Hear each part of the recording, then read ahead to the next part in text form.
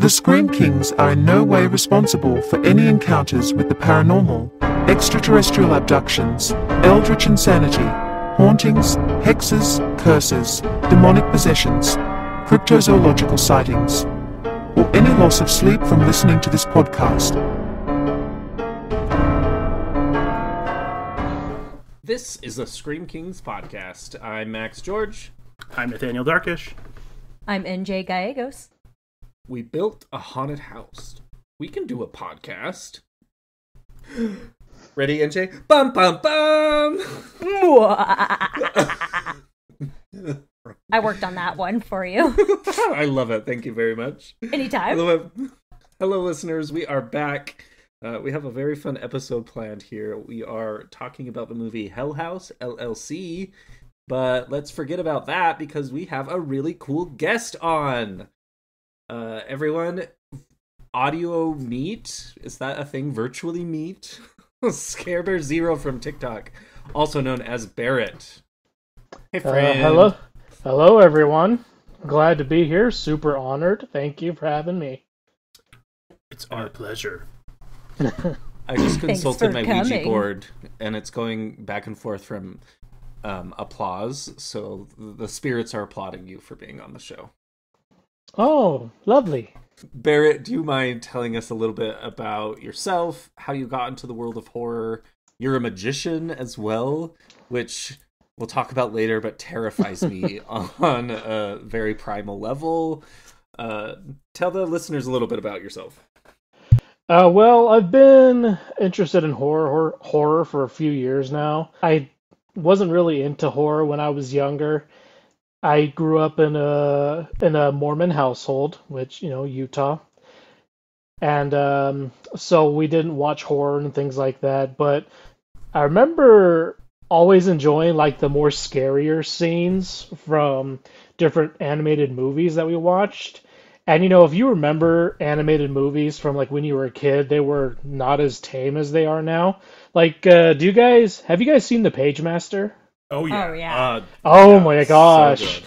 but it has that one scene with like Dr. Jekyll and Mr. Hyde, mhm. and I recently rewatched it, and I'm just watching it's just like, yay! I remember this as a kid. and then, bam. Oh yeah, I and then like- my, it's actually one of my son's favorite movies too, and it's weird because he, he, like he doesn't get frightened by anything. Like you want to know another movie that he's also asked to watch so much? It. Ah, I feel like kids love it though. Odd, oddly enough, you know, I see kids all the time with like Pennywise stuff on. I'm like, you're five. Like, what are you doing? Yeah. How, how old is your child? He is nine, just barely turned nine back in January. That's age appropriate for it, for sure. Oh Yeah. yeah. absolutely, absolutely. Well, you know, I'm not a complete idiot. I make sure to uh, mute the mute the slashery stuff. I just think it's weird that he's like, "Can we watch it?" I'm like, "Really?" for sure. So, what was the the transition? If you kind of grew up not being super plugged into horror, how did that change? Um, well, I kind of when I got older, I I kind I started watching horror movies kind of like off and on. I so I think the first horror movie I saw in the theater was I think The Grudge. So that was around the the J horror craze. When was that? Early 2000s? Yeah, that was like uh well, I mean the the first one was The Ring, which was in ninety nine, if I remember. Wait no, it was like 02. Mm, The no, original Japanese ring was ninety nine, I think. oh yeah, that sounds about right. But the uh, Na- what was what's her name? Naomi Watts. Mm-hmm. The Naomi Watts one, I think that was 03, 02. Yeah, it was 02. Yeah. So the first one I saw in the theater was The Grudge. And then, gosh, what was the next one? I think the next one that I watched was Insidious. Ooh, And I loved it. We watched it at like a at like a friend's house at like a group gathering and like half the people left midway through. like there's only like six or seven of us that stayed watching it. Did they leave Uh, because of the movie? Yeah, they were. It, it was. It was terrifying for a PG thirteen movie. It's freaking terrifying. Yeah. That True. that sounds very quintessential, like Mormon youth gathering, and, and then people get too scared, and so they gotta go. I also watched the. I also. I also remember. Oh, I don't really classify them as horror movies per se, but they have like frightening sequences. So it's uh, the Sixth Sense and Signs. Oh, Signs is terrifying. That one. Oh, yeah. with the alien in the alley. Uh uh Dude, that freaking traumatized me as a kid. I remember I remember nightmares from seeing that. I can't walk by an alley without looking at it and thinking, "Oh no, what if?" or a cornfield. yeah, yeah. Uh, so, what is the scariest horror movie you've ever seen, Barrett? That is an excellent question. The Insidious movies are pretty good, but not the scariest. I think the one movie that, when it comes to the scariest movie that I can think of, I think of a movie that continues to frighten me. And the one movie that I can think of that always just frightens me, no matter what, is it's a found footage movie called REC. yes. Yeah. I you haven't- guys seen REC? I haven't, but now I need No, no, to. What are you talking about, Max? We ha- did a podcast episode about it. About Wreck? It's the one where they were trapped in that apartment complex. Spanish, Yeah, it's Spanish zombie-ish. too. Oh my gosh, REC. Wow, I'm thinking W R E C K. no, R E C, Wreck. Okay, sorry, I need to go castigate myself. Yeah, no, that movie's the best. it's so that- good. But um, Have Have you I seen the second one? I've seen all four of them, Okay, good. so I have them all on box set somewhere. Awesome. Another, uh, I, uh, and I can't, I can't do a podcast talking about movies that traumatize me without talking about Jurassic Park. Oh, yeah. Well, because my dad, he took me to see it when I was like seven, and I was so excited because I love dinosaurs. But once we got in the theater, I was so scared. I spent the entire time with my head in the chair, and I didn't even watch it. Oh. So, so there's another movie that traumatized me as a kid. And now you're forever afraid of dinosaurs. I- Showtime! that is that is not true. I love dinosaurs to this day. Dinosaurs rock. Yeah. So- Um, Uh, uh, and so, so what's your favorite horror movie? Yeah, I'm still here. I'm just really thinking. I don't know. I there's there's so many good ones that I just love to watch. Well, one of the the ones that I can watch like over and over again is the um I can watch Exorcist over and over again. oh, good boy. that's a Paranormal good boy. Paranormal Activity franchise, I don't mind. I, I'll, I'll, I'll, I'll, I'll agree with, with you on the first three paranormals. Okay, yeah, the first three Paranormal Activities are super good. The fourth one is largely forgettable, except for like the main girl and the main guy. They're like super charming and super funny, so they kind of carry the movie. Hmm. The fifth one is good if if you think of it as like an offshoot from the Hmm. franchise. And the last one, I never remember what happens. Something about a ghost camera. It was bad. Yeah, something about they could see the ghost on the camera, which is just stupid. What do you mean? Seeing a paranormal entity on a camera is stupid. Well, the whole point of the Paranormal Activity franchise is that you couldn't see the damn thing. Yeah, it's You would- makes no sense. Uh, Sinister is another movie that traumatized me. Ooh, Oh yeah. That's, that's what Nathaniel won't rewatch, right? It got you real good.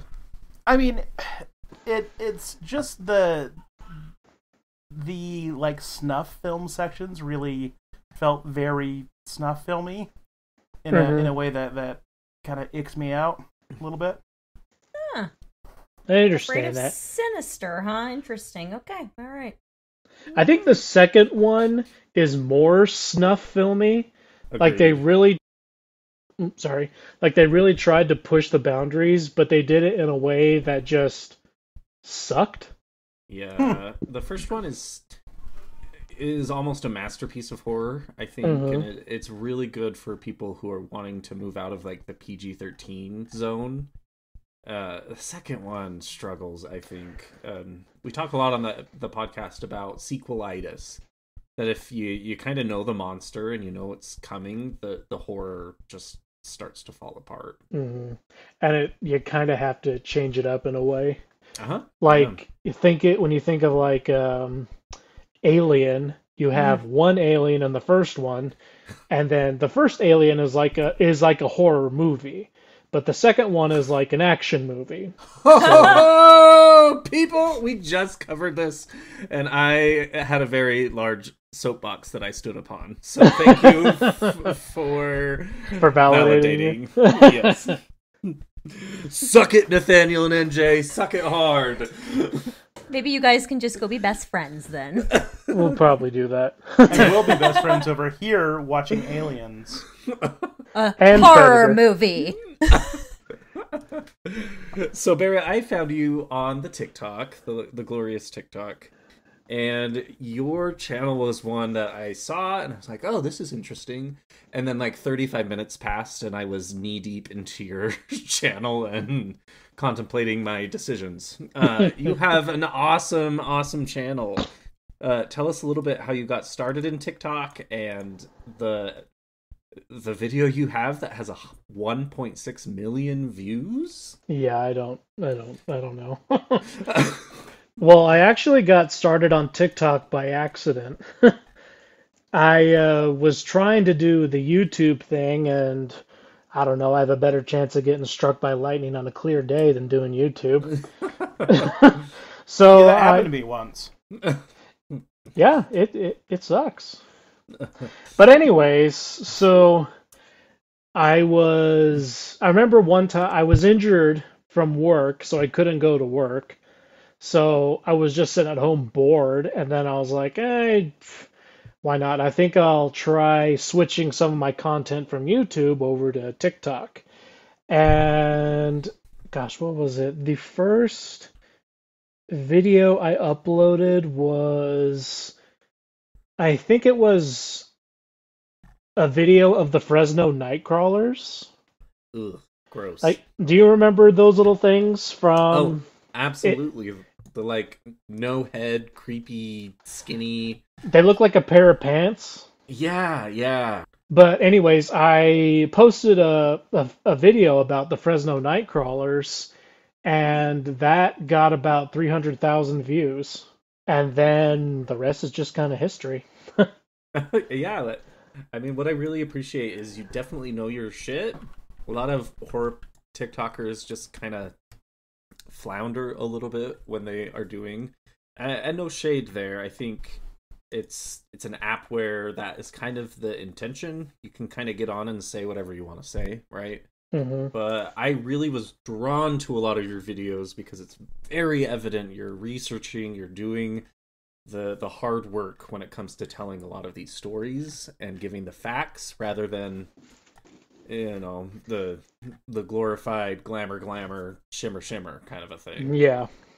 Well, I try. I like to give people as as much information as I can find, and I like to kind of let people come to their own conclusions about things. Yeah, yeah, I, I've definitely noticed that as well.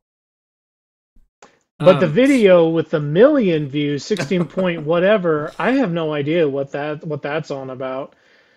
So for your listeners, the video that I have that has like over a million whatevers, it's about mermaids?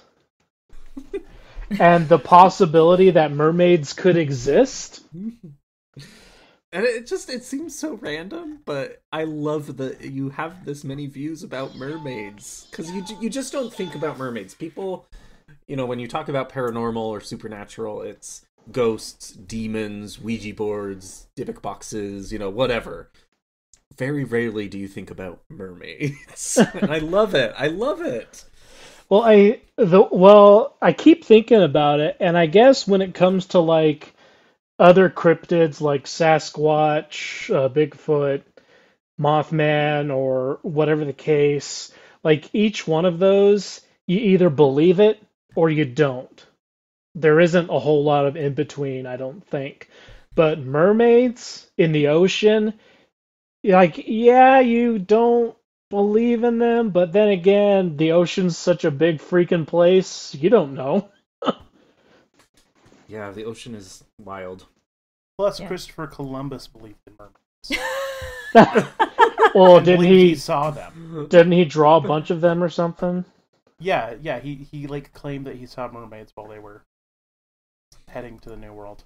And There you go. He, he murdered thousands. upon Everything thousands Christopher of Columbus people. did was right, so we're gonna believe in mermaids. Mermaids are real. All right. Well, Barrett, uh, you wanted to talk about one of your favorite movies, uh, Hell House LLC, and I'm surprised we haven't talked about this on the show yet. NJ Nathaniel, do you guys want to give us a quick little summary um, about the show? It's pretty straightforward. I mean, I I I could uh, take the the reins on this one. Jesus, take the wheel. Aw, thanks. Um, that that was Jesus's voice. Um, Oh, I knew it. So, uh, Hell House LLC is a uh, found footage uh, mockumentary film. It's basically presented as a documentary that's been put together about uh, an incident at a uh, haunt attraction called Hell House that is run by a, a an LLC called Hell House LLC. Uh, basically, this is a group of friends who uh, find this old hotel. This is like the fifth or sixth year that they've been doing different haunt attractions in the New York area. Um, this hotel, the Abaddon Hotel, is in a place called Abaddon, uh, fittingly, and uh, they make this attraction, and bad things happen because of presumably some weird culty stuff that happened in the past that maybe made this place haunted and, and terrible. Uh, ultimately, their launch, uh, their first night, uh, results in some death and chaos and destruction, and so the documentary crew tries to piece together what happened, and that's, I guess, essentially the, the movie. Yeah, it's a pretty classic mockumentary type of a film. Found footage meets mockumentary. Um, I really appreciate mockumentaries and found footage, Nathaniel. I know you really like a good found footage film as well. Oh yeah, Uh, a lot of times they're hit or miss for me. Uh, Oh, big time. This one does a really good job, though. I think, um, not only from the found footage aspect, but as well as a mockumentary. It doesn't try and reinvent the wheel by any means. Uh, pretty straightforward in its approach. NJ, what do you think about kind of found footage and mockumentary? I I enjoy it for the most part. Um, you know, I'm a reality TV junkie, so anything that's kind of adjacent to that, I enjoy. Um, the only thing I don't like about found footage is it kind of tends to be shot like shittily sometimes. um, and I I have very weak cochlea, so I get like car sick very easily. So I can't like I have to like put a scopolamine patch on and like watch Oh these God. things. I'm I'm I- such a, a pussy. I have It's never, sad. ever, ever heard someone like, oh, yeah, I just have a weak cochlea. and I will be using that from now on. Thank Yeah. you. My uh, co- they're How- very how- weak. how have you not heard my wife say that exact phrase, Max? I don't know. Has I she love it. really? oh yeah, Oh. Well, usually my you just say you had a weak stomach or something. But cochlea just sounds so much cooler. It's true. And And it's it's more such an awesome organ. Anyway, cochleas aside. um, I, I did appreciate this one a little bit as well, um, talking about cochleas, because it didn't, I think, go as hard as other films like Blair Witch Project, where it's literally someone holding a camera and just you see every single step that they take. It did rein that in a little bit, and allowed the story I think to play out more naturally, if that makes sense. hmm Yeah, I've never been able to watch the Blair Witch all the way through, even with the scopolamine patch. Huh, that's a shame. It's a great movie. yeah, It is a great movie. I know. Barrett, how about you? Do you prefer the documentary or found footage films, or Well- is this kind of an, an exception? Well, found I love my found footage is probably my favorite um, branch of the horror of the horror genre. So I I can eat up all, all I can eat up found footage all day. So, but yeah, you and but- you and me both. If I had to choose, I I love a good found footage. Oh yeah, but I think uh, it's like you said, they're really hit and miss, and you usually have to sift through a lot of crap to find a good one. but the the the movie that really got me into found footage was well, two of them. There's Hell House LLC and uh, Grave Encounters. Hmm. Have you guys have have either of you guys seen Grave Encounters? Yes. Uh-uh. I have not I- seen that one. I have Oh, seen it. you need to see Grave Encounters because it is so good. Yeah, that Is- one's fun. Is it like Dramamine level, or like what do I need? I Uh, you might. there's need some not a yeah. there's not a whole lot of the shaky cam stuff. I mean, it's pretty set, All right, What? cool. but there You- are a lot of camera glitches, and I hate camera glitches. What you really need to do is just uh, figure your life out, NJ. Hey, te- teach your cochlea to be strong. yeah. okay listen not to hijack this portion but we went to uh, alaska and had a really rough day at sea and i had like a scopolamine patch zofran dramamine Oh, uh, my wife gave me an ativan and then she gave me another ativan and was like shut up and go to sleep. And then finally i mm. passed out and stopped throwing up. So mm. i am a total wuss. You can't throw up if you're unconscious. exactly. Well, well, you I mean, can, technically, yeah. and I can kill Oh you. yeah, at that point i wanted to be dead so it was like a win-win either way. Go, going back to just kind of like what what makes I think found footage such an interesting genre, and this is something I talked about a little bit before, uh, quite a few episodes ago. So, so I think it's it's worth kind of bringing back up. Is I I, I love how found footage inherently uh, makes it so we have to uh, suspend our disbelief less than like the average movie. You know, because Yeah. it feels more grounded in reality. You know, it's the same kind of thing that you know a, a good uh, epistolary novel will do, where you know it feels like oh, like uh, like if it's made out of letters or diary entries, like you know a book can suddenly be that much more grounded. You know, that's that's like I, I I just remember back when I was in like I don't know eighth grade or something and read Dracula for the first time. Encountering that kind of format just like opened up my head and went, you know, made me go, oh my gosh, like a story can be this. It can like feel real like this, and you know, found footage does the same thing for me. And so, yeah, like when it works, it can really, really work. Well, some of the best found footage movies that I can think of were the kind where you genuinely didn't know whether it was real or not. And I Mhm. think I think over the years that's kind of passed.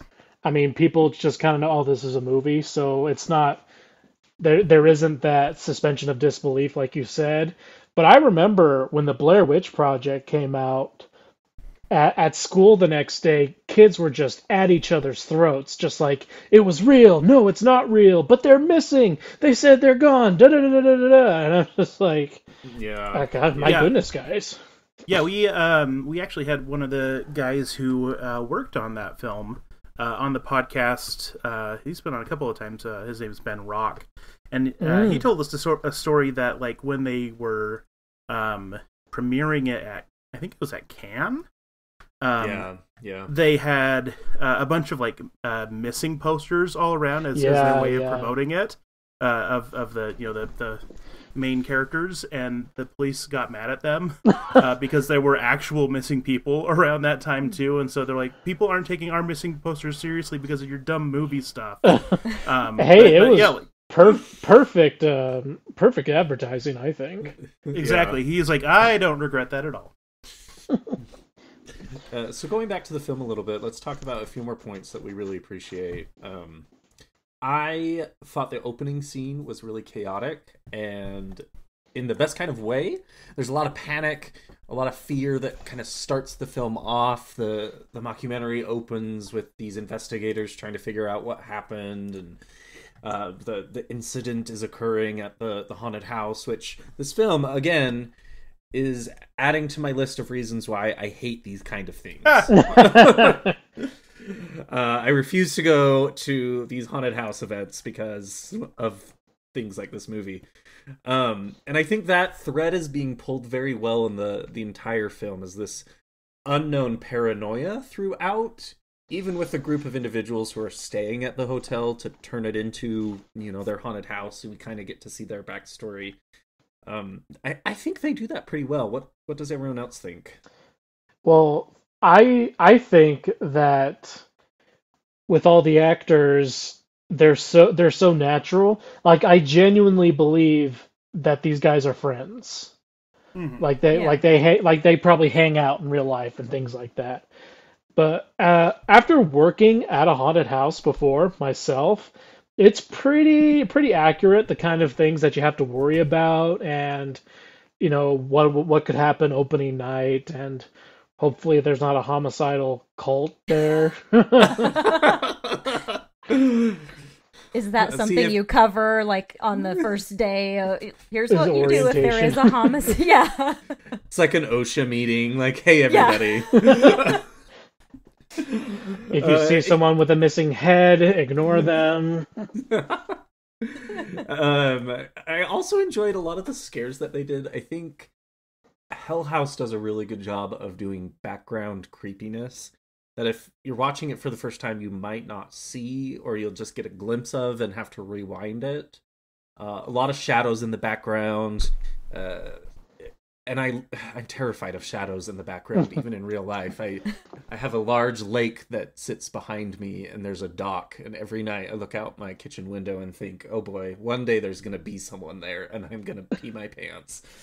Yeah, one of those movies where every time you watch it, something new pops up. Yeah, yeah, exactly. I, I think they did a really good job of that. Mhm. Not all of the scares are maybe executed the best way, but sometimes those subtle background catches really invoke eeriness and terror, and I think this movie does that well. hmm Uh, one Totally of agree. probably my favorite scene is the strobe light scene, where they're kind of testing the cameras. The guy locks himself in the little creepy alley. They turn the lights off and they activate the strobe light, and you you almost get a little nauseated. by cochleas where Yeah. upset, and you don't really know what's going on, but you can see that something is kind of encroaching on the actor. But it it's so chaotic you don't know what is happening and that that was really spooky. I don't know i, I loved that. What what do you other people think as far as the scares go? My my favorite probably is when um Paul turns on the video camera and then there's that spooky dead girl just sitting against his wall. And then he sees it and he does the standard you know like a little kid thing like oh i'm gonna hide myself under the blanket and it it'll go away it'll be fine. And then he takes it off. He's like oh shit no it's not. Uh that that gets me pretty good. Um i love that. Uh, the see for me like a lot of the clown scares, especially just like the clown, the he- like like when the head turns and stuff. Yeah Uh that one that one gets me, and, and like it's such a simple scare, right? Like it shouldn't work that well, but it freaking does. It just like, and and and I think that's one of the the great things about this is that you can have scares that really get under your skin, and it like literally the budget on that is someone turning a thing's head. Like Yeah, you I- know, it's I it's think- cheap as free, and yet it still scared the crap out of me. i think it's one of those things where we are so used to the cgi and the again glimmer glimmer shimmer shimmer of today's movies And then the That- loud screaming jump scares. yeah, yeah, and the the killer is there, blah Yeah. blah blah blah blah. And so I agree with you, Nathaniel. That clown is spooky as is, but then the camera pans away and then he plans back, and it just it gets you. I mm-hmm. do not like it. Um, And- Barrett, and the- what's oh Sorry. Oh, and I was just gonna say, and the design of especially that that you know kind of iconic one with the the black streaked uh black black streaked paint under his eyes is Yeah. such a freaky clown design, and it like I don't know what it is about it, but it just like really gets under my skin, like you know few clowns do. Clowns are the worst. We let's we should be done with clowns. America, we're done. No more clowns. The only kind of clown I like is a rodeo clown. No, even them. Out. We're done. Remember that year where where there was just clowns all summer? That Yeah. was 2016, wasn't it? yeah, Yeah. terrifying. Again, Yeah. we're We done. thought that, and we thought that that was as bad as things could get. Hey, I'll Oh, take no. I'll take scary clowns over COVID any day. Yeah, Uh, fair. we were young, we were dumb, we didn't know that you know. I'm still saying it. Clowns out. We're done. No more clowns. Ugh. I miss you, Um, clowns. uh, Barrett, what was one of your favorite scares in the in the film? Um, the it was Paul and the Twisted Head mannequin one.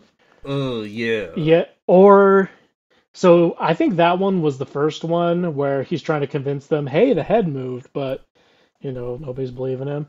And my Hmm. my second favorite is when they're going through the house at night, which is just an awful idea in and of itself. and they find Sarah and they leave that room, and then all of a sudden they turn around and like the plate is set, the Yeah. clock Candles is chiming, the candles are lit, and it's oh my. Again, it's another very simple way to freak us all out, and I I, I love it. And you don't you don't know what's happening.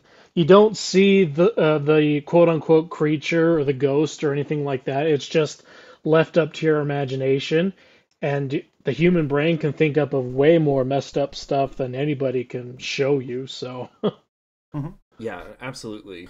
See, fan fan theory here. Um, I think that if they had just sat down and had a nice meal, that uh, clearly the ghosts were trying to provide for them at that point, it would have yeah. been fine. What if it? But but they rejected the ent- hospitality. Everything What if this happened. entire film is just about hotel? It's like Beauty and the Beast, but ghosts instead of singing. well, they tried to do that in the second movie. That's fair. Oh. Um, let's not go there quite yet. okay. um, I have to ask if we were all put into a scenario like this, at what point would you say, "Nope, this is not a good idea," backing out?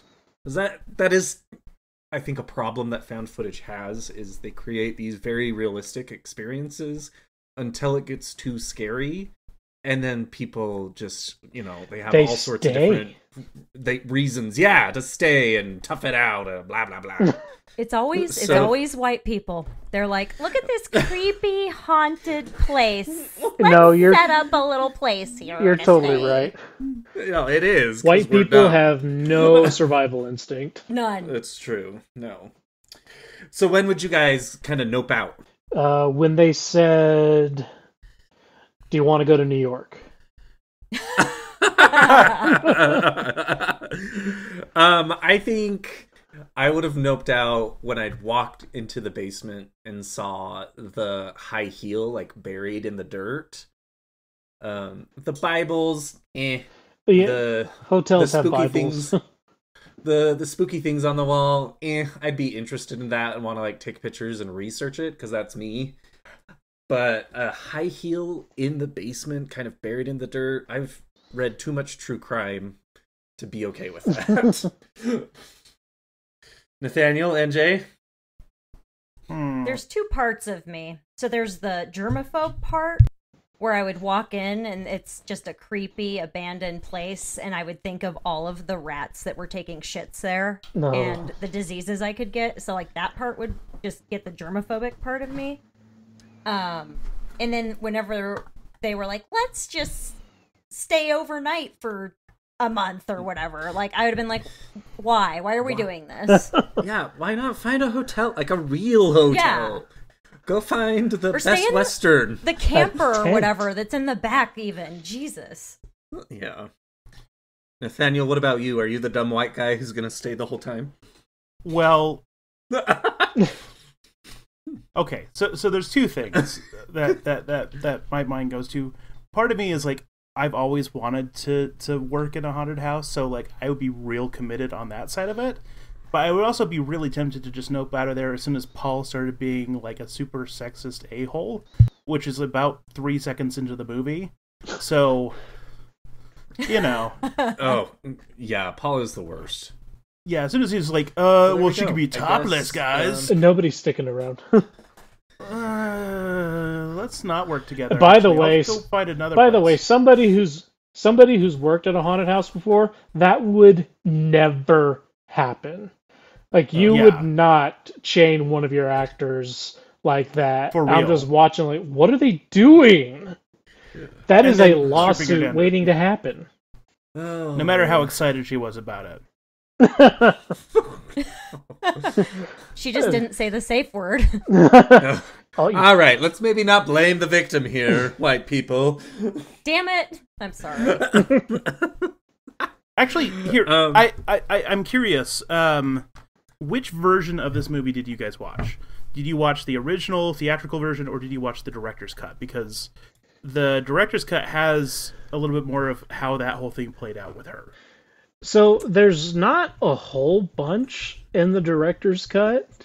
I think there's maybe I want to say maybe like 5 to 10 minutes of extra stuff, Yeah, but there's so cuz I've watched the director's cut thinking it was going to be super awesome. Uh, there was some stuff that sort of filled in some gaps, but not enough to where you're like oh, you need to see the director's cut kind of thing. yeah. I mean, it, to to me, I think the the most notable thing was really just showing us a little bit more clearly what happened in the basement. Mhm. that is so upsetting and that was a literal like hole in the earth to hell opened up and dragged her down which, Which didn't look great Abaddon. yeah yeah and, and and and also like the idea that like oh yeah he's like a you know the the guy who owned it was like wanting to be a modern dante okay so that's i think what was paying off there but yeah like like the effect didn't look great and i think that's why they ultimately cut it uh, in the original you know theatrical version but but it was kind of interesting to go like oh okay they literally opened up hell Yeah, I don't think you saw that until maybe the third one, maybe the second one. I don't really remember the second one a whole lot. Which is a shame because my occult knowledge is going to kind of pop up here. But in the Apocrypha, in the Dead Sea Scrolls, and even in the Christian Bible, Abaddon is a very big player. Uh, it is kind of two things. One is kind of this pit that you can enter to go to Sheol, which is the Bible's version of hell. Um, and in Revelations, Abaddon or Apollyon in the Greek is the the demon of the pit. This this creature that unleashes a horde of locusts on the world. And so it, it's a very prominent occult figure. And one of my crit- criticisms of the film is we didn't get a lot of that backstory. We didn't need a lot.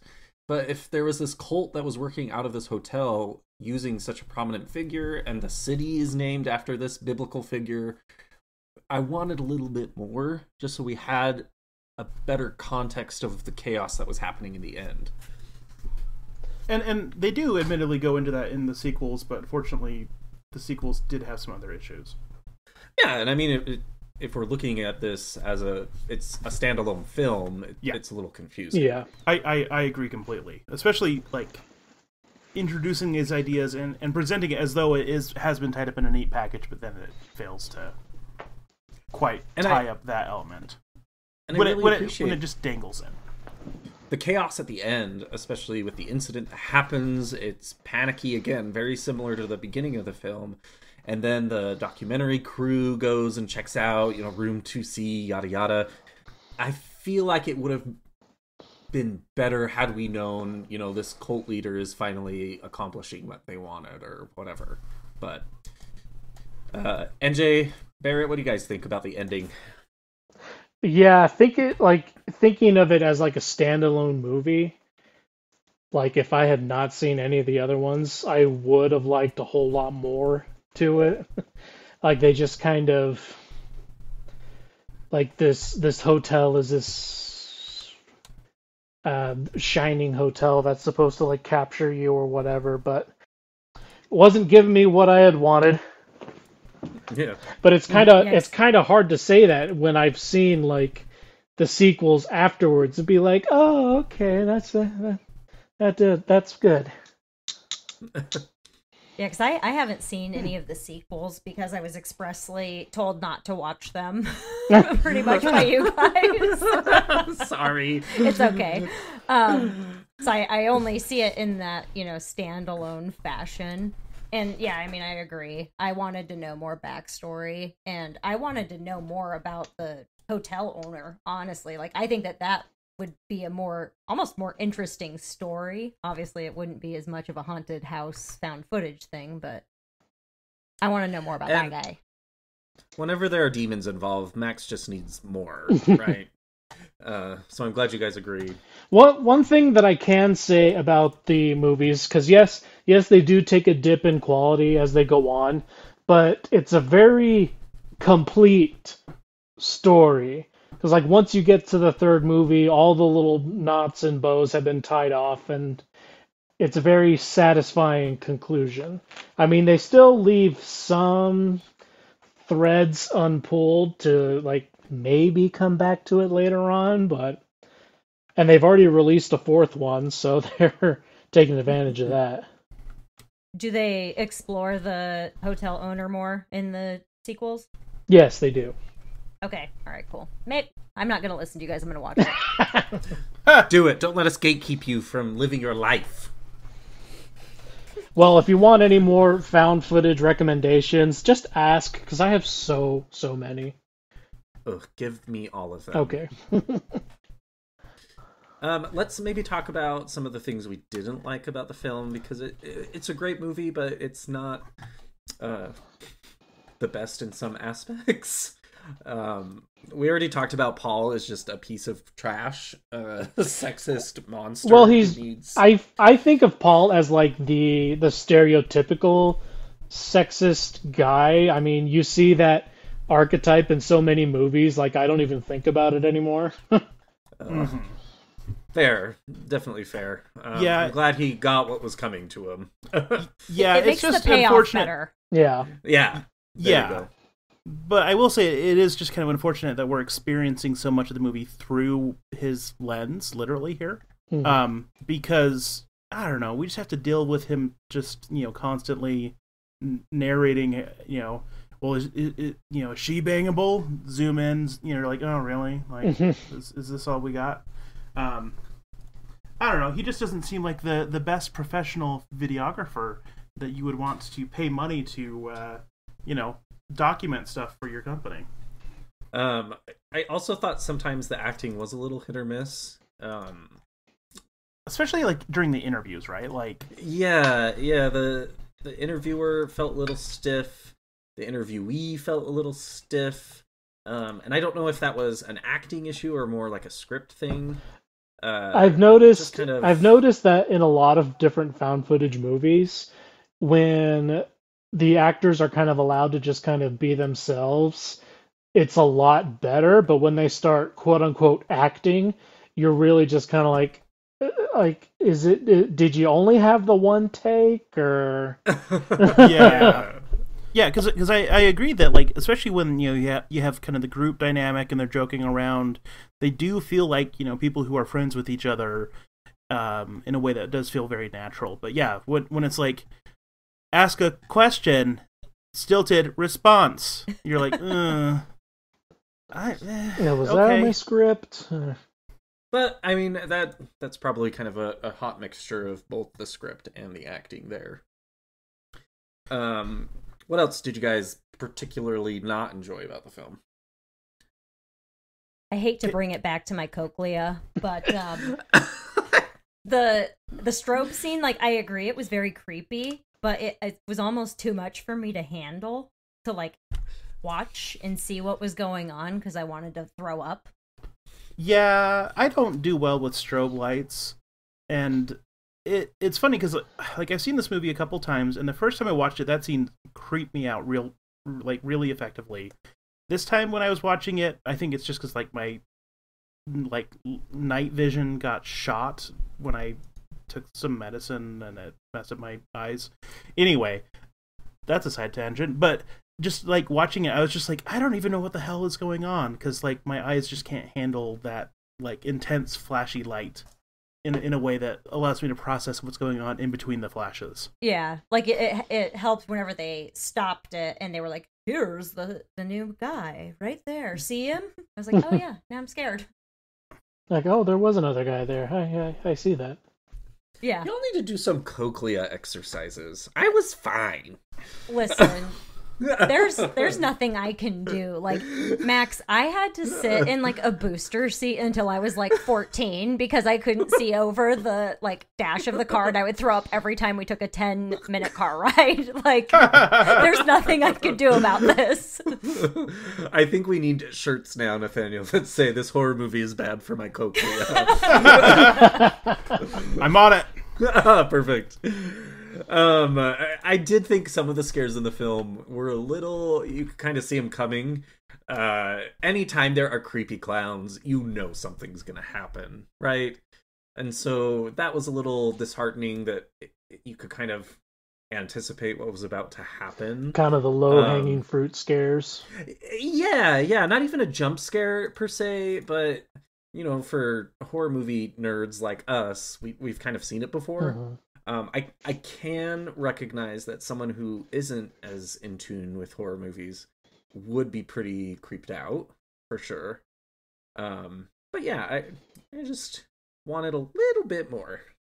One thing that was like a specific plot point that really kind of irked me in this movie is that like we have some sort of secret that is delivered to one of the guys, the one who like quit in that that big fight. yes. I think his name is oh, Tony. yeah, yeah, yeah. And then they like yeah, Tony. Yeah, sit out in the field and and tell him something. Yeah. Oh, what the fuck gosh. was the secret? I forgot about this too. And yeah, it's like oh, it's this very important thing, and he goes, "Okay, I'll stay."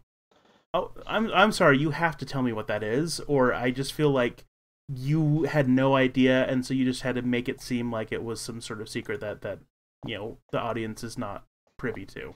Yeah. So I've I've I always thought that if you were going to cut things, why not cut that part? Because yeah, I mean, I think you can kind of, somewhat, sort of, maybe guess what it is, because obviously it's probably something that has to do with money.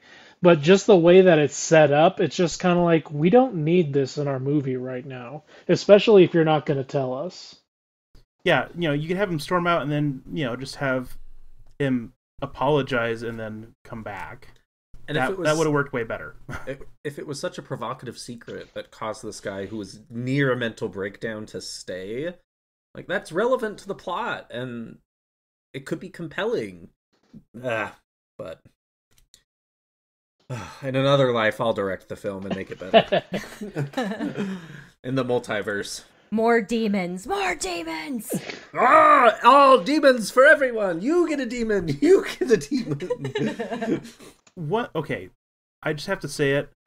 Hell House seems like the lamest haunt attraction ever made. Like it was so lame. Just the name, or no, no, no, not the name. Oh. Like just like that. It's just a bunch of freaking like Spirit Halloween like just animatronic crap scattered around a building with like two actors at the end.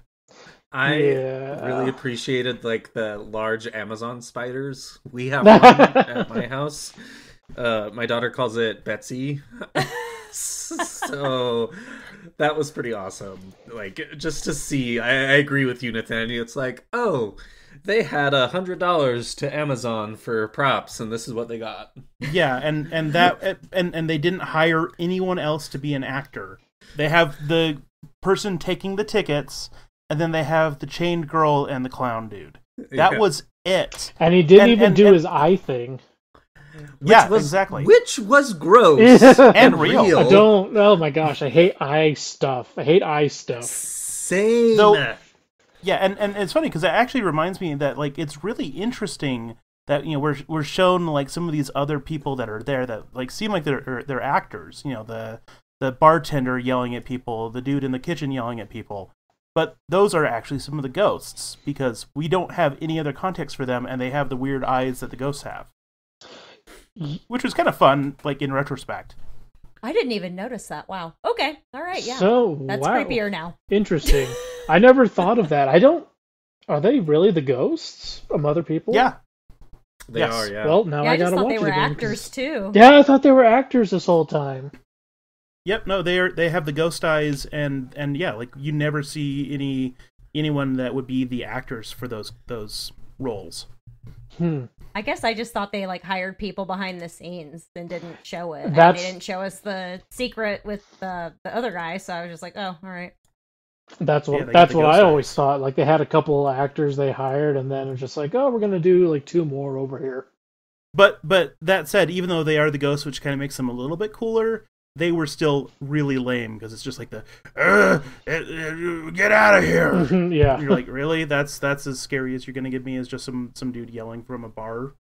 So, a couple things were also really really obviously like uh foreshadowing that paid off. Like, oh, I'm in room two two C, and then they like spend so much time. All right, oh, room two C. Oh, we don't have that room. Like you instantly know, like, oh, okay. Well, she's they're at the gonna be in hotel. Room two C of the hotel. Okay. Well, and like I rolled my eyes so hard at that. yeah, you and I both worked at a hotel, and you can't just go up to the front desk and be like, "Hey, I want to know where Draco Malfoy is staying." and the front desk's like, "Oh yeah, I I don't know who you are. Let me tell you if this person is at my hotel." Uh, uh, Yeah. Ah. Unless, uh, I mean, like you know, maybe if they had bribed her or something, but she's like, oh, just okay, yep, here she is. oh wait, no one's here. Okay, well, uh, sorry. Yeah, let me keep checking for you. I guess I thought they were like filming at the hotel, like a conference room kind of thing. I mean, I think so they, were, knew- but even still, I, I guess I just thought that like the front desk knew that they were all together. I don't know. yeah. But she came up separately. I don't know. It, it, it's still just like one of those, like, oh, what room is this guest staying in? Yeah. If you give that out, then you're gonna get sued. Yeah. You just gave away the room number to a serial killer. Yep. Also, just a few things were just like occasionally things were cut in a way that I didn't know what was going on. Especially like I- I feel like the the transitions between some of the interviews and stuff that was going on in the past and all of that felt like it was like the worst amateurs making a documentary out of this as opposed to like someone who has some documentary experience making it. I don't know. It just feels like like they, they were trying to give us this like veneer of these are documentarians who kind of know what they're doing, Or like um, didn't actually feel a like couple that. of times they'll do the whole question and answer thing, but it's the same question. Kind of like, what happened on that night? We have no idea. What happened on that night? We don't know. What happened on that night? We have no idea. It's like, okay, nobody knows. So let's keep going here. um I, I I liked the characters they did feel like a real group of friends but also i didn't like the characters because they were all kind of terrible and i i can hold space for I, I don't have to like the characters for it to be a good film right but you do need to give us a few redeeming character arcs so that we are compassionate to their their plight i i want to care if they're gonna die or not and i think the whole secret thing could have been that and it just kind of fell on its face and so i i just didn't care about a lot of them if they lived or died Mhm. Yeah, yeah. Maybe if the secret was, you know, he doesn't want to tell anybody, but his mom is dying of cancer, and they need this money to be able Yeah. to pay for her treatment. Like then I'd be like, oh, okay. Well, uh, at least there's that. and it tackles that found footage issue of why are they staying what what is they've seen things clearly everyone's kind of freaking out except the lead guy what is making them say we're gonna eke it out anyway we've we've kind of talked about this already Yeah, I like, had a hard time, um, like keeping track of the white guys. Yeah, too many white guys. That's why I was kind of like not saying that I enjoyed that Paul was a fucking creep, but like it was helpful because I was like, oh, that's Paul. He's the gross one. Got it. well, I always get Tony and Mark mixed up. Sorry, say that again. I Barrett. always get Tony and Mark mixed up. Oh yeah. Yeah, and I love that like all of their names are are like the most basic white guy names. Paul, Alex, Tony, Mark, Andrew. Like, oh, good heaven! Like, I only knew so- Sarah. That was Sarah. it. That's it. Well, and there was some plot elements with Sarah even that I wanted more of. Yes. Yeah, she seemed to be this, the like- token girl. Yeah. Uh, for sure, for sure. But it And also I felt like a- they were building something around her that they just didn't quite yes. get to. Yeah. She had some weird ethereal connection with the spirits, perhaps, or like there's that scene where she's in the field looking at the gravestone. Like a tombstone thing. Yeah, yeah, and there was just stuff that we. But even early on in the Yeah. movie, where like they find a, what was it like a plate or a photograph or something, and he's like, "Hey, this Like, looks like kinda looks Sarah, like her." doesn't it?" But yeah, that never went anywhere. Um, anything else we want to talk about as far as criticisms of the film before we move into maybe some hotel stories? um, we have a note about Hotel Patricia, and I know I didn't write that down. Who has the Patricia story? That would be me. So, speaking of my Cochlea Alaskan cruise, um, I I love that this entire episode has been dedicated to your cochlea, NJ. This Uh, week's Funded episode. by- This week's episode is brought to you by Dramamine. yeah, and I'll, the inner ear. I'll uh, I'll email them and see if they want to sponsor us for this one. Um, so we flew to Vancouver to um take off for our cruise. The boat was ported there, and so my wife, she was my girlfriend then. We got into Vancouver at probably like 11 p.m. Um, I'm cheap, and I was like, I'm not gonna upgrade my phone to like be able to use in Canada, so I like couldn't talk to my family or anything and we told the taxi driver take us to the hotel patricia because the travel agent booked this for us and initially i thought it was like a language barrier issue because he looked very like bewildered and then we're like no yeah it's the hotel patricia. And he's like all right. And so we're driving Oh, through no. vancouver. It looks nice and idyllic. And we're like oh i can't wait to get to the hotel. And we turn and it was like the walking dead. Like it was Uh-oh. like so imagine that you know about the hotel cecil right? Yeah, mm-hmm. yeah, of course. Mm-hmm. so you know how it's on skid row? Yeah. this is like the vancouver hotel cecil. So there's just a bunch of um you know like unfortunately homeless people and things um are oh boy. Yes, and we go in to this hotel that looks like I would rather stay at the Bates Motel, quite honestly. Like I would be like this is nice. It had this like creaky elevator that would totally kill you. We went into our room and I was like, "Oh, I got to go to the bathroom," but I was already panicking cuz we were going to die. I shut the door and there was a blood spatter on the wall. No, no way. Yes. Oh my Yes. gosh. Ew. So I think it, if I had to guess, I think it was probably from like, I imagine people probably get this hotel like by the hour or something, right? And they go to, Yeah. you know, do their drugs or Kind of like the the Cecil Hotel. Exactly. Yeah. And um, it, it was just like a very stifling, creepy vibes. You know what I mean? Like you just Did- walk in and you're like, this is really Yeah. wrong. Did you see Richard Ramirez or any other serial killers who were staying there, like the Cecil Hotel? Unfortunately, I did not. I I threw a, an absolute shit fit. I was like a Karen. I was like, I want to talk to your manager. And then I um, think in that case, the Karen attitude is justified. yeah, I I think that energy is actually a good thing. yeah. Oh, I lost it. And then Probably um, the the reason that you're still alive. yes, yeah. and then we went to a five star Wow. hotel after I demanded my refund, and we got like personalized robes and slippers, so it was a lot better. Heck go. yeah. I was also I also have to ask: Did the water turn brown because it was being polluted by a dead girl's body in the water tank, like the Cecil Hotel?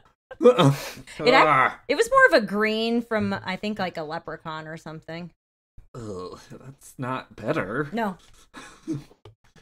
Oh, um, my hotel experience is not as gripping or terrifying. I have two. Uh, the first one is just kind of silly, but there is a pretty famous haunted hotel out here in Utah. Uh, it's called the Ben Lomond Hotel. Uh, it now has some dumb name, like I can't even remember. It, it's a very phallic sounding name. What is it? This is gonna drive me crazy. One sec. The Bigelow. The Bigelow. Yeah. Somebody named Like- it that seriously? yeah. Yeah. right? Like, gross. And it's very well known for being haunted. A lot of uh, ghost finders have been there, yada, yada, yada. So, uh, ex boyfriend and I went to stay for Valentine's, and I brought my Ouija board. And we Damn stayed white people, on- man. Yeah. I know.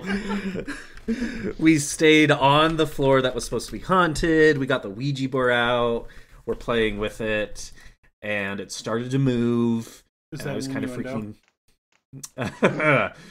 it kind of freaked me out. So it's like, oh god, it's actually working. This thing I don't believe in is actually working. What have I done? Um, and then it spelled out "I love you" because it was my dumb ex boyfriend doing his thing. So um, we didn't see anything, didn't feel anything, uh, but it was kind of cool. And then the other one I have is a little difficult to explain on the air. Uh, Nathaniel and I used to work at the same hotel. We did the night shift together, which was awesome. Yes. Uh, did we work? No. did we watch scary movies? Yes. Yes. um, and this was before I think you got there, Nathaniel. But I saw this guy wearing this weird black hood, kind of walking up and down the the parking lot, and I was the security guard, quote unquote. Really, I was a glorified turn the lights Door off and lock the doors. yeah. um, and they told us if we saw anything suspicious, we just kind of had to observe it. I couldn't engage. You know, they of course didn't want any sort of lawsuit to happen. And so I just watched this guy. He wasn't doing anything bad. He's just walking up and down the parking lot. I couldn't see his face. He was wearing this. It wasn't a trench coat. It was kind of one of those long hoodies that cover his head. And I'm gendering him as a man. It could have been a woman. Women can creep people out too. um, and so it was it get me a little spooked, and so I went to the front desk and looked at the security cameras, and we had a camera that pointed at that uh, parking lot, and there was nobody there. And so that got me a little spooky. So I went back to look at the parking lot, and he was there, walking up and down, walking up and down. I went back to the security camera, nothing. And that went on for about 30 minutes. And eventually I did call the police because I was so freaked out. And they had been patrolling around the area and said that they've seen someone like that. And that is kind of how it ended. And he had know. died that night. Oh my. yeah, he just didn't come up on the, the camera and it it wasn't a glitchy camera or anything. Nathaniel, you know of the cameras I'm speaking of. Like Oh, yeah. they weren't the best, but they weren't any sort of dumb camera. But that's about as close to the paranormal as I've ever come, and I See, have my- a cabinet full of demon books, so I think I'm okay. See, I think the scariest thing that happened at that hotel was the doll convention. You're lying. Oh, Doll yeah. convention? What? Yeah. Why? So it was it was a convention that happened every year for uh, mothers who have had stillborns or oh. had lost children or just crazy really loved people. hyper realistic dolls. Yeah, made of silicone. They the the spooky thing was they would treat them as if they were real. And a lot of the ladies who would come every year, they would buy new doll parts and have their doll like age up, Oh. which was oh. very weird, and you'd see him talking to these dolls and pushing them in strollers and cradling like- them. Like seven hundred dollar strollers. They were Yeah, Jeez. yeah. Wow. Yeah, that's that's awful. I did have an experience there too, Nathaniel. Yeah. Uh, yeah, I was just gonna say, but yeah, just, just walking through that uh, room that they had all of their stuff out at, you know, in the dark at night, was one of the more spine tingling experiences. Oh my gosh. I had a a call at that convention once. Um, I also did maintenance work, and one of the vendors called me because their light had burned out. And so I went to their room, and all four walls of the hotel room were just covered in doll body parts. I would have turned around and be And- like, "You got this." and in the corner, it gets worse, Barrett. Oh, no. in the corner uh it was like a, a lamp light that was in the ceiling that had burned out and in that corner there was a doll or something sitting on the end table but it was covered in a white sheet Oh, Jesus. and i had to stand on a chair to replace the light while this doll under a white sheet was below me.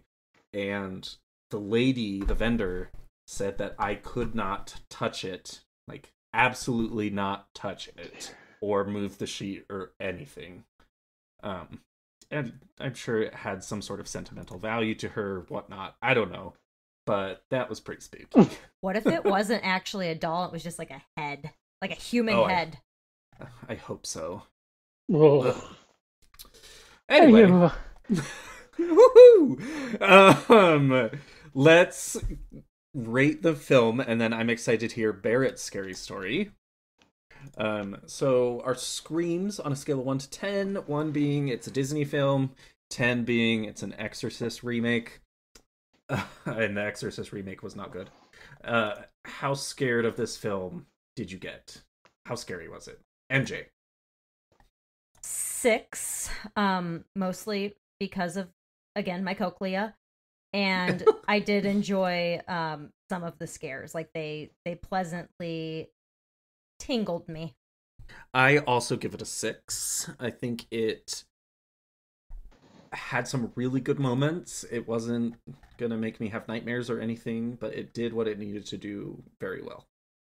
Uh, I'm gonna give it a five. I think it the the clown really is is like four out of that five. well, I think I will give it pretty high eight. What can I say? I like this movie.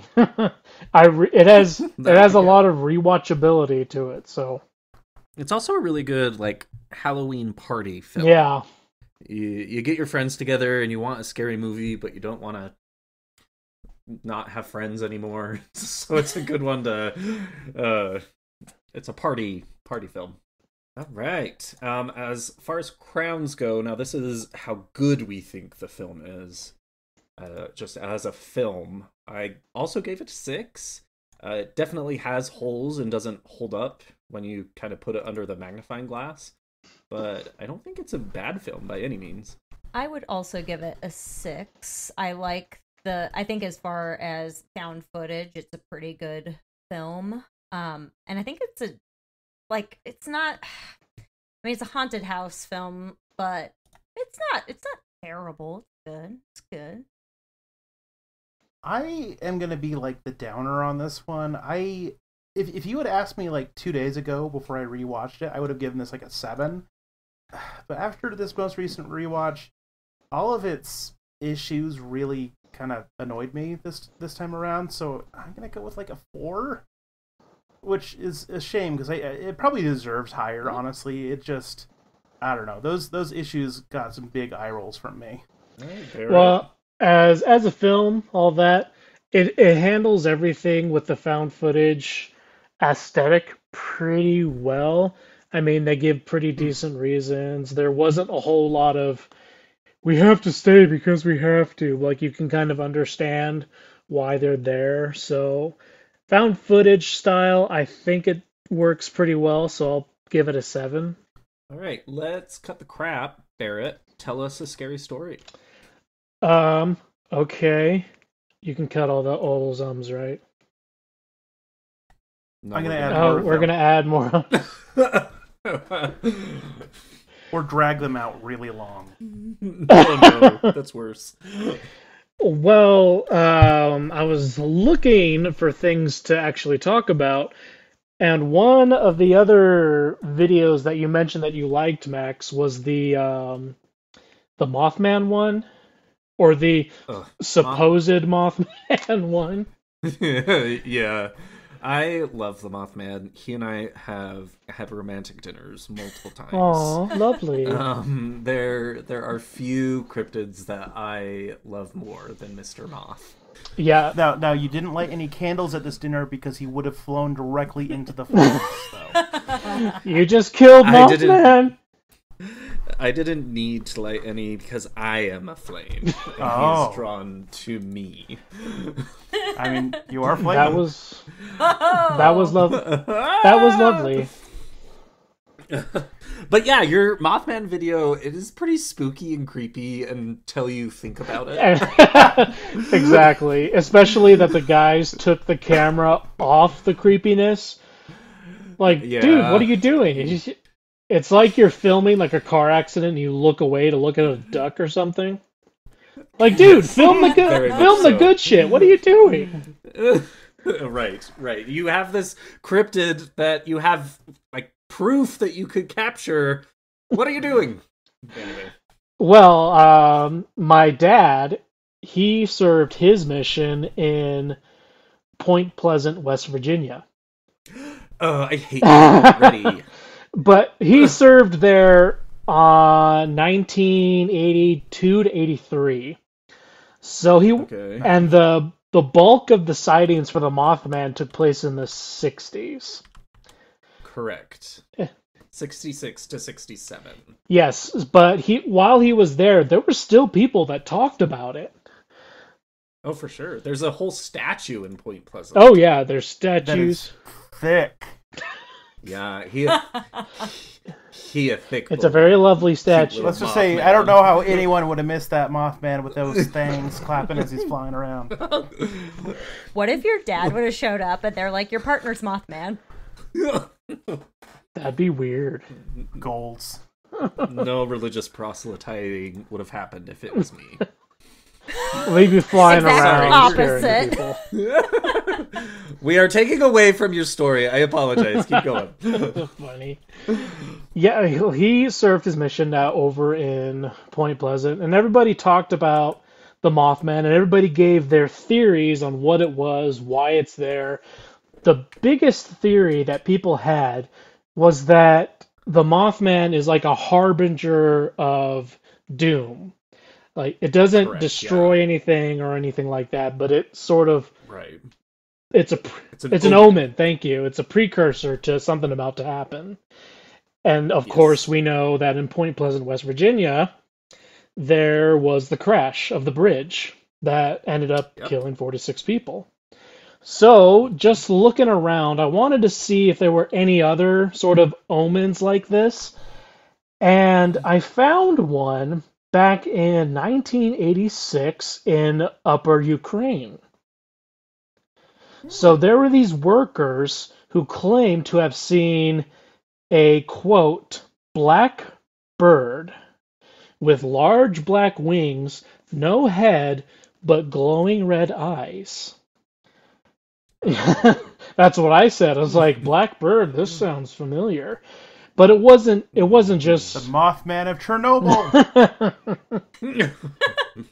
So these workers who were working in this factory in Ukraine, uh, there were like a handful of accounts that they would say, you know, there's this thing out there, and they'd have to report it because they can't just not not talk about it.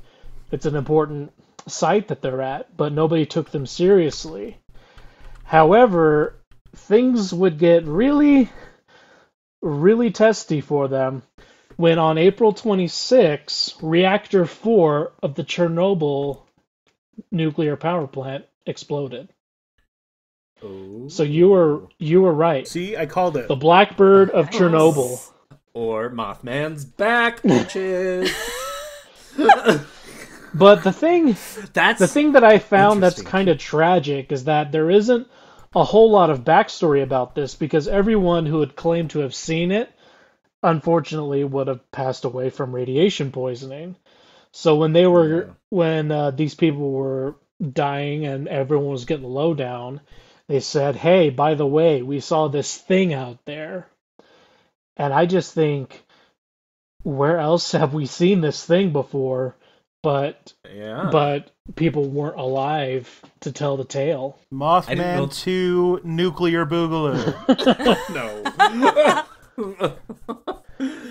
oh, I love the Mothman and everything about him. Uh, that's fascinating. I'm gonna have to look into this a Yeah. little bit and see what I can find.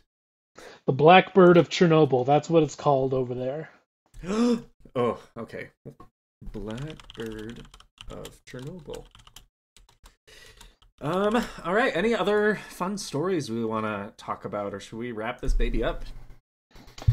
Do y'all want some found footage recommendations? Yeah. uh, Let's use Literally that as always. your staying spooky, Barrett.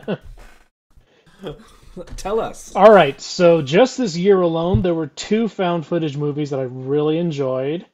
It's one was called Life of Bell. It's a very uncomfortable movie, but it was really well done. The second one is called The Frogman. I've heard about the Frogman. Um, it's good. I, I think you, you hear Frogman and you automatically assume this is going to be silly. It's I, uh, I hear it's riveting. Oh! That was a great dad joke. Thank you. awesome. We'll Well, a Frogman is really good. Uh, some of my favorites: uh, The Taking of Deborah Logan. Oh, It's so good. Very that So good, good. one. So good. Yeah, yeah, that's a great one. The ending, as Nathaniel would say, sometimes poops the bed, but yeah, overall, it's it's phenomenal. and she's great. The main woman is great. Agreed. Mhm. Uh, Tahoe Joe. If you guys enjoy Bigfoot movies, I love Bigfoot too. He's like my third favorite cryptid. yes, Tahoe Joe. And I know the guys that do it. It's an awesome movie. Oh, okay. Let's see, Tahoe Joe. Taking of Deborah Logan, of course. Gosh, now I can't think of them all right now. There are just so many good ones. Uh, just what about the it- we- worst found footage movie I've ever seen? The worst found footage movie I've ever seen is a movie called The Lock In. It is a Hmm. Christian based movie. Oh no. Who's the villain? The gays or the A, blacks? por- a pornographic magazine. oh, I'm not- okay. I am not making this shit up. This is the plot of the lock in. I so they do Oh, this boy. lock in, and I'm not entirely sure what a lock in is. Like they just they go into a church and they're locked in for like a night and just do prayers and stuff all night. I don't I don't know. But yeah, we did that in middle school, like, but not with the praying. It was like a sleepover. Yeah, a, sl- a big old sleepover. I don't I don't know what it is, what they do, but anyways, so this this movie is about how these kids accidentally bring a porno into their that into the lock-in, and s- for some reason ghosts are everywhere. It is Well, because of it is porn. the stupidest thing I have ever seen. Honestly, They're that horny sounds ghosts. That sounds real. I kind of want to watch it now. Yeah, now you guys want to watch it. You can find it on YouTube. Just type in the lock-in found footage, and you can find it. It would be a good episode just to shit Yeah. talk it from start to finish. A part two. we'll have you back. Yes, have me back and we'll talk shit on the lock in. um, you gave us a found footage. I'm gonna give you one about Bigfoot. Um, it's called Willow Creek. I love Willow Creek. It is so underrated, and it has one of the scenes that has scared me more than any other movie, where they're in the tent and they're just listening to what's going on outside. And it's like a straight So 20 minute one shot. Oh my Uh-huh. gosh. As an as an avid camper, I have done that before, where you wake up in the middle of the night and you have to pee, but then something's making noise outside, and so you're like, "Nope, my bladder will hold this in." So help me God. Ugh, it's so good. I also recommend Exists. Oh, I need to see that one. Yeah, that's Yeah, that's another big. that's hit. probably number one on my Bigfoot movie list. Ugh, I love good old Biggie, Biggie Foot. that that one was made by the dude who directed uh, uh, Blair Witch. Was it? I know I know somebody that had something to do with Blair Witch did it, so that's probably why it's so good then. Have you seen Gonjiam Haunted Asylum? That's the Korean one, right? one. Yes. Very also good. one of my favorites. It's it's amazing. Look at us, just just being friends. Aw. Um, Nathaniel, actu- how are you? Oh, go ahead. I was just gonna ask how you're staying spooky. Ah, well, besides watching Barrett's uh, TikToks where he does magic because he's a magician, how have we not talked about that? Um, Because you're the only person who's a sc- or who's Scared scared, of of magic. I hate it, guys. I hate it so much. I there's one time I have a cousin who's a magician as well, and we were doing a family home evening thing, and he made me pick a card out of a standard deck. I knew the card. He shuffled the deck, and then he had me peel an orange, and the card was inside the orange. And uh, I, mm-mm, no, thank you. Give me the demons, you magicians, and your freaky voodoo. Uh, So- ugh, I don't so like one of my favorite reactions to magic I've ever seen was when David Blaine did that orange trick to Harrison Ford. And he told, yeah, told him to get out of his house. he's holding up the card and he's just like, "Get the fuck out of my house." that is me. I do not like it. Magic Yeah, I- and goats. Gross. Yeah, I've seen David Blaine perform, and he did something kind of similar, but he had someone literally sew his mouth shut, and then like someone like wrote their name on a puzzle piece, and then they mixed up all the pieces, and then like I don't know, No, burned it or something, and then and then someone cut open the his mouth, and then he pulled the puzzle piece out of his mouth. It was the most insane thing I've ever seen. well, that's when I when Yeah. I look at these videos cuz on my TikTok page there's a lot of scary videos that I've shown with my background in magic and just things like that. I could probably look at these videos and be like, "Oh, they did this with magnets or they did this with threads or this is fake because of X, Y, and Z." But there's only been like a handful of videos that I've seen where I'm just like, "Okay, how did they I can't explain that." You definitely need to send them to us because we'd love to look at those. Um, but besides uh, not being able to sleep for magic, um, I have been on a serial killer kick. That sounds so terrible. Um, I just finished a book about Ted Bundy, and I'm now reading one about the Green River Killer. Terrible people, they're the worst. Um, Netflix does a really cool series though called Conversations with a Killer, um, where they have actual audio tapes and videotapes of these terrible human beings, and they kind of tell the story alongside those videotapes. Very unsettling. Uh, I've had to stop a few times because these human beings are just garbage, and it's very Mhm. uncomfortable how they talk about what they've done. Um, other than that, I'm reading another really cool book called The Broken Heart. I don't know if NJ you've heard of that. Never heard of it. Uh, it is an amazing, amazing book written by NJ. Uh, so good. I I love it, and I'm sad I wasn't on that episode to talk about everything that I love. I appreciate you. Uh, I appreciate you. Are you? How are you staying spooky though? I want to know how far you are, though. Just Um, the killer just died, ah, all right. so not very far, but far enough. uh the the incident with hammy really is what i think kickstarted my my love of it yeah. so Thank you. you're welcome how are you staying spooky I am reading a um like a collection of short stories called Don't Look 30 Tales of Terror by Blair Daniels.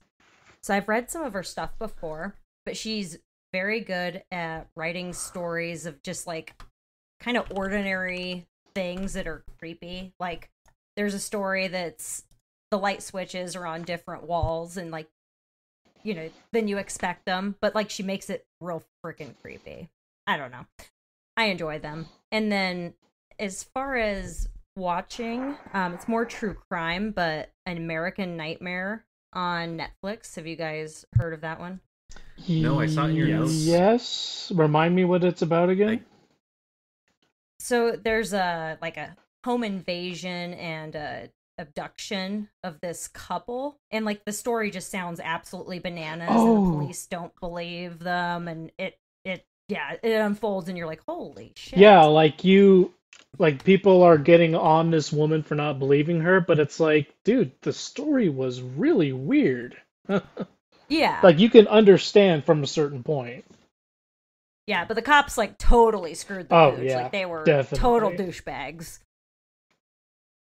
As they are most of the time, unfortunately. sadly If I've learned anything from my true crime serial killer dive, it's that the police need a lot of help. It's a flip of the coin most of the time. yeah, for real, unfortunately. Um, I have to ask NJ, have you finished Hazbin Hotel yet? No i have not yet because i have to watch it um when my wife's not around because she's like what are you watching oh. I know. She's she's not into musicals and like um cartoon stuff, unfortunately. Or, you know, demons that say fuck a lot. And seeing, Uh, Nathaniel, what about you? Um, uh, so I just started listening to an audiobook in the Alien universe because, of course, I did. Um, it is called Aliens Bishop. It uh, came out, I think, like a month ago. Uh, but yeah, it's about Bishop, um, kind of post uh, Alien 3. And it's really fun so far. It's probably not like the best alien book I have picked up so far, but it's um still like really solid. I'm really enjoying it, and I'm curious to see where it goes because uh, Bishop is just a great character, and you know, Alien is always near and dear to my heart. Alien is alien. It's amazing. All right. Um, Barrett, before we wrap up officially, do you want to tell our listeners where they can find you? So go ahead. You can find me on TikTok at ScareBear0. And that's the new numbers. Yes, number zero. Zero. Do you have any Twitter, anything, any Instagram that you I'm working my way to do Twitter. Such a shit place. But for Instagram, like I like something by someone that I think is funny, and then all of a sudden I get a bunch of political ads for no reason. yeah, true. So All right, check them out, uh, everyone. I'm not done. My inst Oh my gosh, I'm so sorry. my my Instagram is bear underscore how four three two one, and the YouTube channel that I'm trying to put together uh don't quite have that yet. So to be continued. Cool. Well, we'll we'll share it once you do have links for that. And, you know, Awesome. shamelessly plug you then. So that's it for me. Well, All right. Appreciate you guys having me on. It was fun. So, uh, yeah, to all of our wonderful listeners out there, stay spooky. Stay spooky. Stay spooky.